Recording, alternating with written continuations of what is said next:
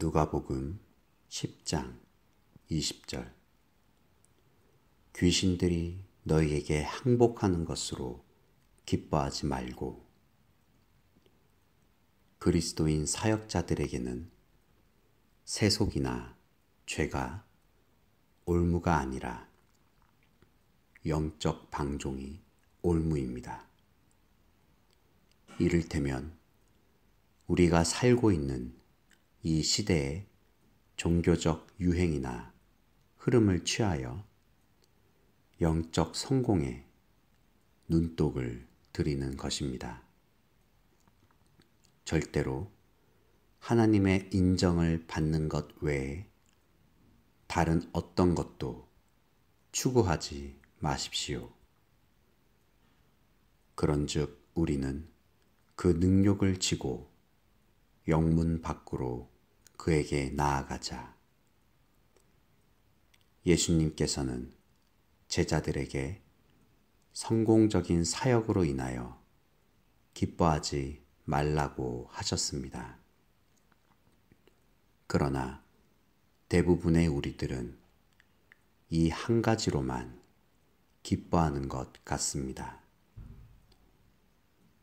우리는 상업적인 관점을 가지고 있습니다. 얼마나 많은 영혼이 구원을 받았고 거룩하게 되었는가를 계산하면서 하나님께 감사합니다. 이제 모든 것이 잘 된다고 흥겨워합니다. 그러나 우리의 사역은 하나님의 은혜가 기초를 놓은 곳에서 시작합니다. 우리는 영혼을 구원하기보다 그들을 제자화하여야 합니다.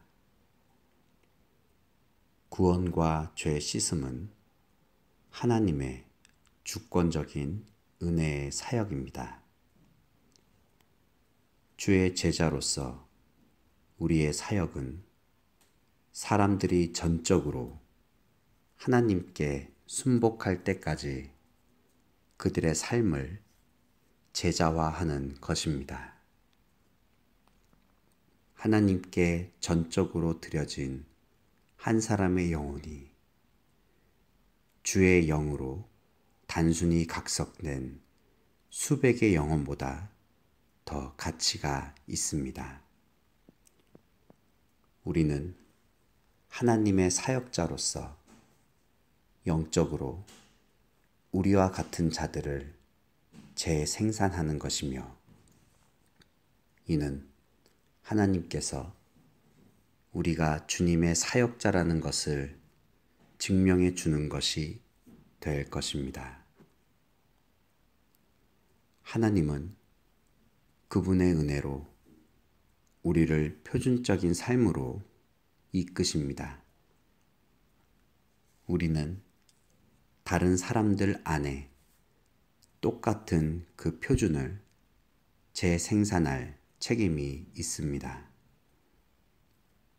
사역자가 하나님 안에서 그리스도와 함께 감추어진 생명으로 살지 않으면 그는 주의 영이 함께하는 제자가 되는 대신에 잔소리 많은 독재자가 되기 쉽습니다. 우리 중에 많은 사람들이 독재자들입니다. 각각의 개인들에게 명령을 내리며 공동체에서도 명명합니다. 예수님께서는 결코 그런 식으로 명명하신 적이 없으십니다. 우리 주께서 제자도에 대하여 말씀하실 때마다 주님은 언제나 만약이라는 단어로 시작하셨지. 내가 반드시 해야 한다. 라는 식으로 강요하지 않으셨습니다. 제자가 되는 것은 강요가 아니라 선택입니다.